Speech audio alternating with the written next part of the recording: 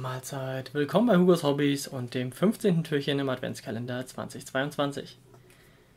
Heute geht es um umgebende Tarnmuster, also Streifen oder Flecken, die ähnlich wie im vorangegangenen Video zusammen vorkommen. Also wir haben hier mindestens dreifarbige Tarnmuster, sonst funktioniert das mit einem umgebenden Muster nicht. Ja, das Ganze funktioniert so.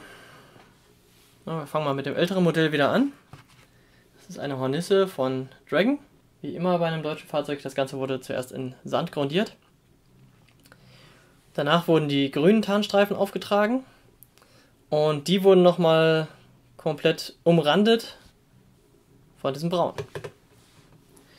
Das war ziemlich sicher ähm, ein Tarnmuster, das aus der Anleitung dieses Modells stammt von Dragon. Also vermute ich auch wieder ein Tarnmuster, das in irgendeiner Art und Weise historisch belegt ist. Auf jeden Fall gibt es verschiedene Panzer, die so getarnt waren. Davon gibt es verschiedenste Archivfotos. Und bei manchen Nationen war das, glaube ich, auch häufiger, dass dieses, diese Art von Muster angewendet worden ist als bei anderen. In meinem Gedächtnis ist es zumindest so, dass man sowas bei Japanern und Franzosen relativ häufig gesehen hat, aber da bin ich jetzt auch nicht so hundertprozentig sicher. Ich glaube, im Ersten Weltkrieg war das auch eine relativ verbreitete Technik. Dann bei häufig noch mehrfarbigen Tarnmustern mit vier verschiedenen Farben oder eventuell sogar fünf, weiß ich nicht genau. Ja, hier im Falle des Dragon-Modells haben wir wie gesagt ein dreifarbiges Tarnmuster, das wie es halt Standard ist bei den deutschen sandfarbene Grundierung, dazu braun und grün und fertig ist die Laube. Ja, das ist eines meiner jüngsten deutschen Panzermodelle was jetzt nichts zu heißen hat, denn es ist jetzt auch schon 15 Jahre oder sowas in meinem Besitz, ist also auch schon vor Ewigkeiten gemacht worden. Man sieht hier Lackabplatzer mit Panzergrau, immer noch relativ grob.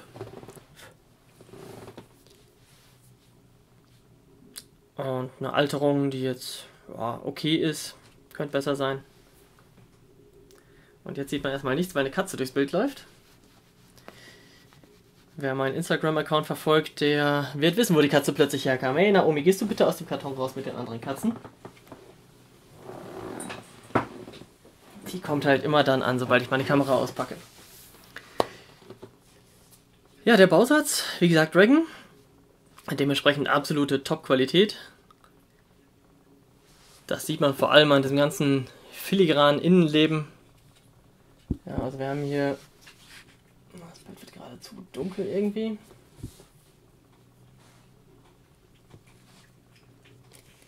Mal gucken, ob ich das mal näher ranholen kann, was ich meine. Wir sehen da neben dem Geschütz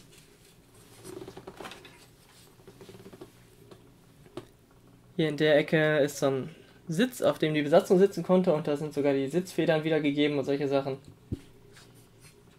Ja, die Patronenkisten natürlich hier, also die, die Schränke für die Munition. Konnte man offen oder geschlossen darstellen. Dafür lagen Fotohetzteile bei. Das ist schon wirklich, wirklich ein toller Bausatz gewesen. Ich weiß gar nicht, ob man sowas heute noch bekommt. Nashorn oder Hornisse von Dragon wahrscheinlich schon. Ist auf jeden Fall eine feine Sache, aber äh, definitiv auch eher was für Fortgeschrittene.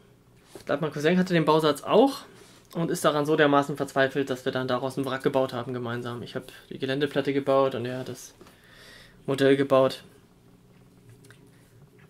Weil er meinte, ne, das kriege ich nicht zusammen, das, das wird nichts. Ja, ein weiteres Beispiel aus jüngster Zeit, ich glaube, das habe ich erst letztes oder vorletztes Jahr gebaut, der Stalin 4. Hier in diesem Fall kein historisch belegtes Tarnmuster, sondern ein völlig frei erfundenes. Dafür aber mal ausnahmsweise ein Tarnmuster, das ich mit Airbrush aufgetragen habe. Wir sehen hier die weichen Übergänge zwischen den Flecken. Gerade eben war das auch ein bisschen so, aber halt wie bei so alten Modellen üblich bei mir, trocken mit dem Pinsel aufgetupft. Und hier halt mit der Airbrush gemacht. Ja, das Modell habe ich euch schon mal vorgestellt. Wie alle jüngeren Modelle, die entstanden sind, seit ich den YouTube-Kanal habe. Deswegen sage ich da vielleicht jetzt nicht allzu viel zu. Es ist ein neuerer Trumpeter-Bausatz, den man wahrscheinlich noch problemlos bekommt überall. Wie von Trumpeter üblich. Wenig Teile, dafür Top-Qualität, super Detaillierung. Ich liebe diese Firma wirklich sehr. Und ich finde das Tarnmuster auch irgendwie ansprechend. Man kann jetzt sagen, das sieht irgendwie doof aus. Kann ich verstehen.